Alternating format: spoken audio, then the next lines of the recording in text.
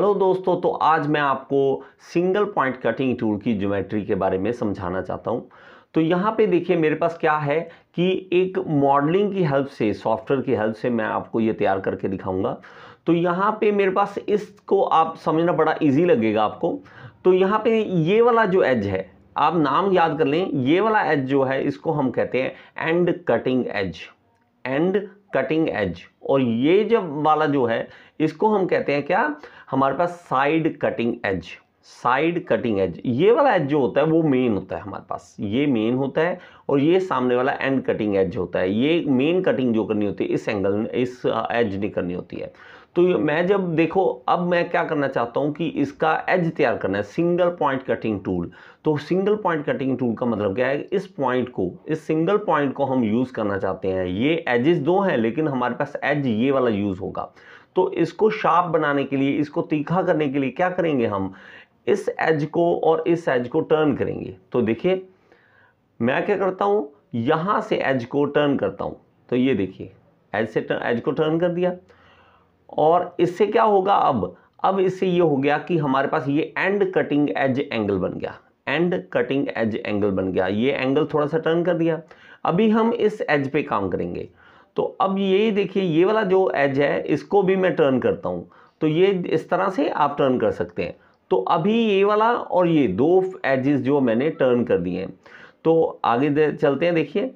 अब मैं क्या करता हूँ कि आप इस को समझना बड़ा इजी लगेगा आपको, इस मॉडलिंग की हेल्प से बहुत ही इजी लगेगा आपको। तो ये देखिए, अब इसका टॉप व्यू देखिए। टॉप व्यू से आपको दोनों एंगल दिखेंगे। ये हम, हमने टर्न किया था ये वाला और ये वाला, ठीक है? तो मेरे पास दोबारा देख लो एक बार यहाँ पे। तो ये ये टर्न किया है और ये टर्न किया है। थोड़ा सा टेढ़ा किया इसको। तो ये जो किया है, इसके कारण हमारे पास दो एजेस तैयार हो गए हैं, दो एंगल तैयार हो गए हैं।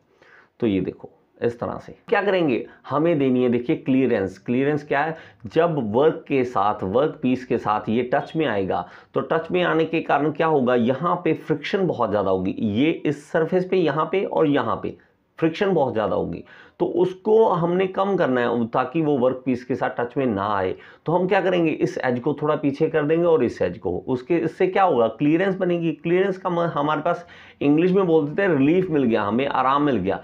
तो ये, इसको पीछे करेंगे तो एंड रिलीफ एंगल इसको पीछे करेंगे तो हमारे पास साइड रिलीफ एंगल तो देखिए, इसको मैं पीछे करता हूँ अभी। तो ये देखिए, पीछे हो गया, ये हो गया।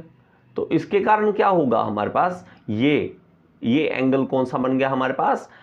एंड रिलीफ और ये वाला साइड कर दिया मैंने तो हमारे पास साइड रिलीफ एंगल तो ये दोनों एंगल तैयार हो गए अभी चीज़ एक देखिए कि हमारा जो चिप फ्लो करना है, उसके लिए भी हमें कोई रास्ता बनाना पड़ेगा। तो इस टूल पर हम क्या करेंगे? एक एंगल प्रोवाइड करेंगे ताकि चिप का फ्लो प्रॉपर तरीके से हो। तो यहाँ पे देखिए ये पहले हम यहाँ पे देखें हमारे पास जो फ्रंट फेस है इसका, हमारा फ्रंट व्यू है, इससे ये देखो एंगल दिख रहा है, ये रिलीफ एंगल दिख रहा है साइड रिलीफ दिख रहा है।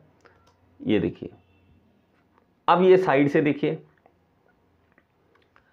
अब देखिए हमारे पास, अब हम क्या करेंगे कि इसको थोड़ा सा, ये जो हमारे पास है, इसको नीचे कर देते हैं। इससे क्या होगा चिप फ्लो इजी हो सकता है चिप फ्लो इजीली हो सकता है यहाँ से। और इसको भी मैं डाउन कर दूँगा।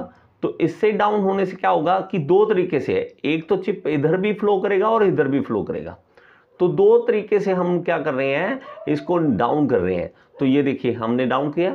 तो ये देखिए, हम ऊपर नीचे, जैसे मर्ज़ी हम इसका एंगल चेंज कर सकते हैं तो हम इसका एंगल चेंज कर रहे हैं। तो ये देखिए, अब सामने से आप जब देखेंगे तो सामने से मेरे पास दिख रहा है कि ये ये हमारे पास साइड में देखिए ये साइड में हमारे पास एंगल डाउन जा रहा है तो इसको कहते हैं side rake angle side rake angle ये डाउन चला गया साइड रेक एंगल ठीक है? और ये देखिए, अब ये, अब यहाँ पे देख सकते हैं। अब आपको इजी लगेगा। अब इजी है इसको समझना। यहाँ फ्रंट फेस पे फ्रंट फेस पे आपको देखने को मिल सकता है कि साइड कटिंग एज एंगल ये वाला, और साइड रेक एंगल ये वाला। यहाँ से आपको इजी दिखेगा और ये साइड जो हमारे पास देखिए साइड व्यू से हमें दिखेगा तो वो ये दिख रहा है कि बैक रेक एंगल किस तरह से है और एंड क्लियरेंस एंगल किस तरह से है। ठीक है? नेक्स्ट चलो आगे। तो आगे वाले में हमारे पास व्यू में क्या? ये देखिए, हमारे पास एंड कटिंग एज एंगल दिख रहा है और साइड कटिंग एज एंगल भी दिख रहा है। तो इस तरीके से आप देख सकते हो। अभी देखते हैं कि जो रेक हमारे पास सरफेस है रेक एंगल उसका क्या इफ़ेक्ट है? अब जो हमने डाउन किया ना ये, ना तो किस तरह से करेंगे कि हम इस इस ये जो हमारे पास एज है, इसको थोड़ा ऊपर कर देंगे। देखिए पहले डाउन ये देखिए, यहाँ पे अगर मैं बीच में ये रोक देता हूँ कि पूरा प्लेन करता हूँ तो ज़ीरो रेक एंगल और ऊपर ले जाता हूँ तो ये मेरे पास क्या बन गया? नेगेटिव रेक एंगल नेगेटिव और ये देखिए, ये जो एज है, ये इसकी थिकनेस बड़ी हो जाती है। जैसे जैसे नेगेटिव रेक एंगल हो जाता है तो ये हमारे पास क्या हो जाता है? थिकनेस बड़ी हो जाती है इसकी। ठीक है? तो ये एज थोड़ा सा शार्प नहीं है बहुत ज़्यादा तीखा नहीं है। इसकी मोटाई बढ़ गई टूल लाइफ भी बढ़ती है इससे। तो ये देखो, इस तरह से आप रेक एंगल को भी समझ सकते हो पॉजिटिव और नेगेटिव रेक एंगल को समझ सकते हो। तो ये हमारे पास पॉजिटिव और नेगेटिव रेक एंगल आपको समझना ईजी हो जाएगा इससे। तो ये सारे व्यू आपको एक बार दिखा देता हूँ और ये सारा हमारे पास किस तरह से नेगेटिव और पॉजिटिव रेक एंगल है, ये इजी होता है समझना।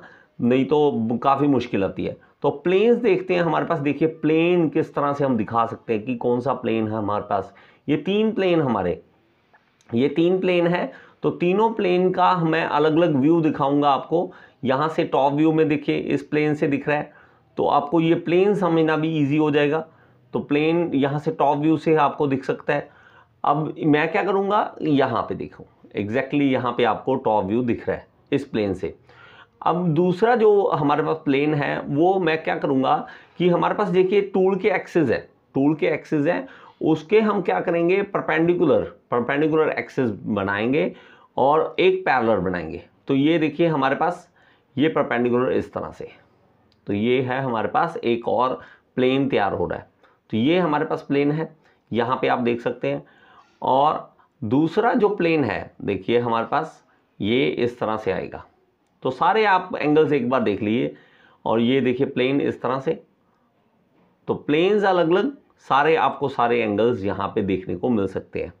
और ये देखिए तीसरा प्लेन यहाँ पर। ये तीसरा प्लेन है।